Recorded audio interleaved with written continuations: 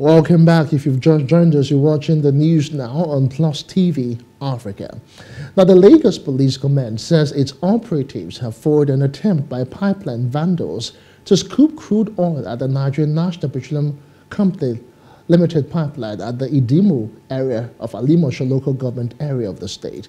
The spokesperson for the command, Benjamin Hundeyin, said the incident happened around 2 a.m. on Saturday when the hoodlums accessed the site to siphon the PMS into their tanker.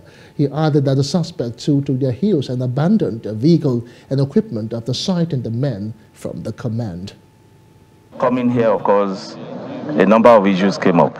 First, the ingenuity of these uh, vandals, the desperation of these vandals, and uh, of course, their determination to, in spite of uh, the onslaught against them, to continue to threaten the economic uh, nerve center of this country without caring, of course, of what could be the uh, safety and security consequences of their action. We will sustain police presence to cordon off this place to ensure that there is a there is no no safety threat, and uh, we have contacted the uh, NNPC and they've good enough sent in their technical team. They will clamp the place, and then while uh, of course, like we said, we are going to get to the root of this, and I can assure the the community and the Lagosians that uh, the brains, the elements behind this, are, are, are identified and brought to justice. That will certainly be done.